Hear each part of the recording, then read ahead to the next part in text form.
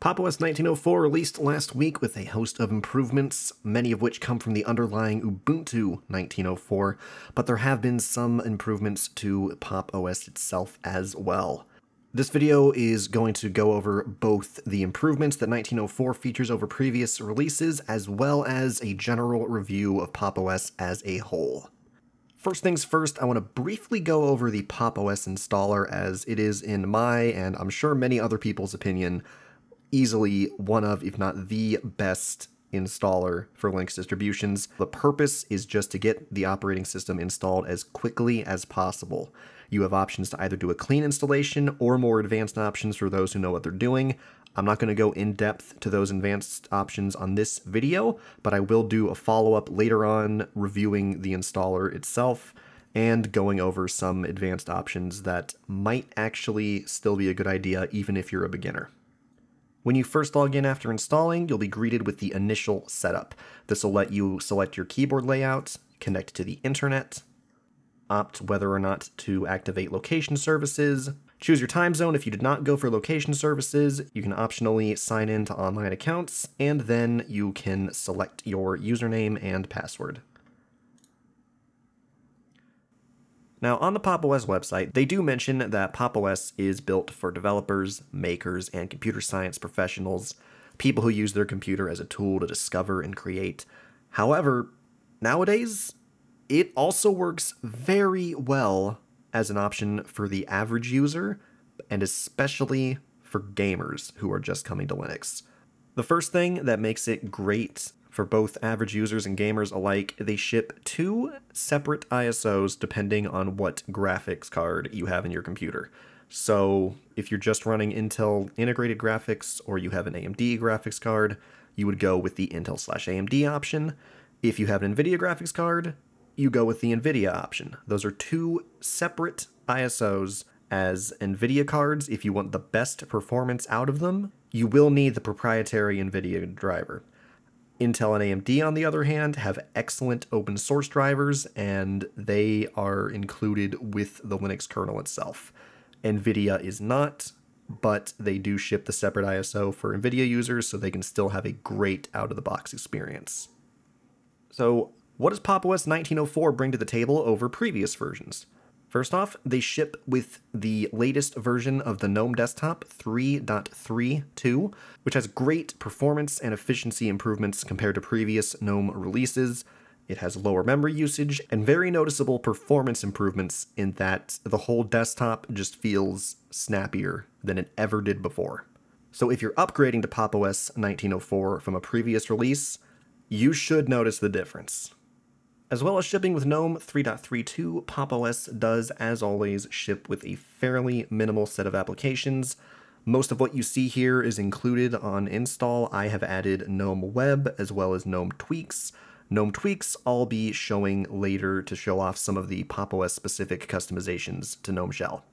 GNOME Web is there just because I like GNOME Web as a browser. You will also notice that the Pop! OS icon theme has been changed from the previous release. It was originally based on the Papirus icons, but now it features a very distinct look to them. As mentioned on the System 76 blog, the icons for Pop! OS have been redesigned to complement GNOME's icons under their new design guidelines.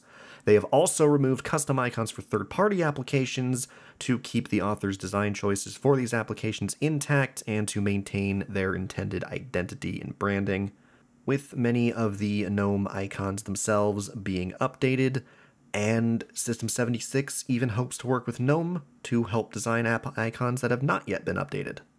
Some other changes that Pop! OS have done compared to vanilla GNOME Shell, if we go into Settings under the Appearance tab, they've actually added options to toggle a dark mode and a slim mode. So if we look here, you can see just from the regular settings, no need to go into GNOME tweaks. You can turn on and off dark mode. You can also turn on and off slim mode, which reduces the size of the header bar, and you can also use both options together. Now, the interesting thing about those toggles is that they actually aren't just toggling on and off a dark mode, it is actually switching the theme over to the dark variant as well as the slim variant. So in a way, these options are kind of exposing options that you can access in GNOME Tweaks as well, just in a much more apparent and friendly way. That being said, since they're doing customizations to GNOME settings like this, one thing I would personally like to see, if nothing else added, would be bringing the option for mouse acceleration into the main settings, because that can be very helpful for gamers especially.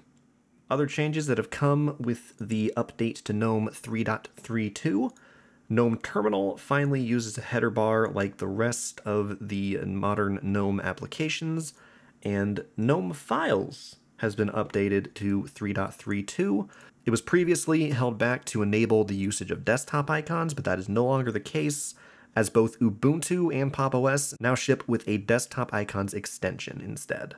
So let's get into some of the extensions that Pop! OS ships with that you will not find on Vanilla GNOME, such as if you're running Fedora. They include a desktop icons extension. This is on by default. I turn it off because I don't use desktop icons, but it is on by default. It is the same one that Ubuntu uses.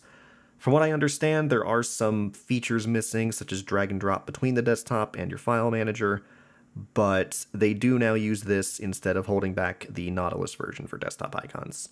Pop! OS also includes a Do Not Disturb extension, so you can toggle this on and off depending on if you want to block notifications, such as if you, well, don't want to be disturbed. There's also a battery icon fix, which I cannot test as this is a desktop computer, but I assume that would be good for those on laptops.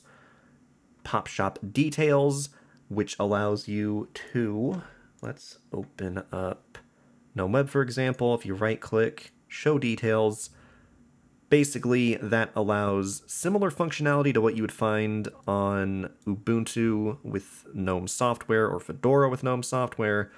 The Pop Shop Details extension here enables the same thing to happen just for Pop Shop instead, as Pop! OS here uses Pop Shop rather than GNOME software. There's also a suspend button extension to add a suspend button to the status menu that is not there by default. And then there's also the System 76 power management. Again, that's going to be more relevant to laptop users than desktop users. Overall, I like the additions that System 76 do to GNOME Shell with Pop! OS, and for the most part, I leave most of the options default, except for a few things. I do change my mouse acceleration profile to flat. I also turn on the Activities Overview hot corner, I turn on weekday for the clock, and because I use elementary on my main machine and just in general, I've kind of started to prefer having my uh, title bar buttons on the left rather than the right. And I also turn on center new windows. So a lot of what I've shown you so far is great for pretty much any user, whether you're a gamer or not. You can get the same kernel version as well as the Mesa drivers on other Ubuntu 1904 releases, so what's something that makes Pop! OS special and especially good for gamers?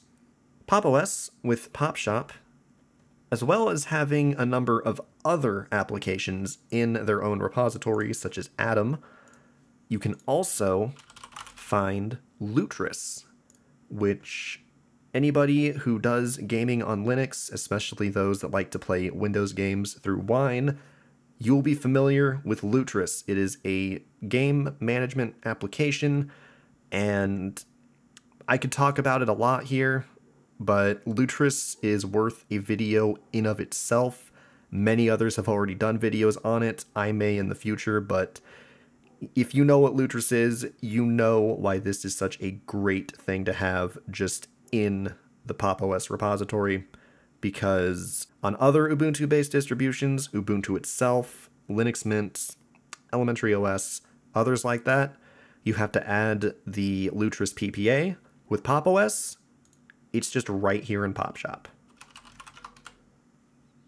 As well as Lutris, they do also include another game management application called GameHub. Both of them are great. I have personally used Lutris a lot more than GameHub, but both of them are available and both are fine options. So that about covers it for this video. Let me know what you guys think of Pop! OS. Let me know if I missed any cool new additions to either this version of Pop! OS or just other cool things that Pop! OS does versus standard Ubuntu. I'm sure there's some things that I missed. Till next time, this has been Akzel. Thank you guys for watching, and I will see you guys in the next one.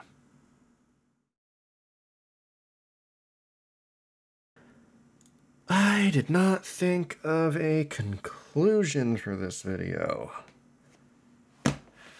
Um...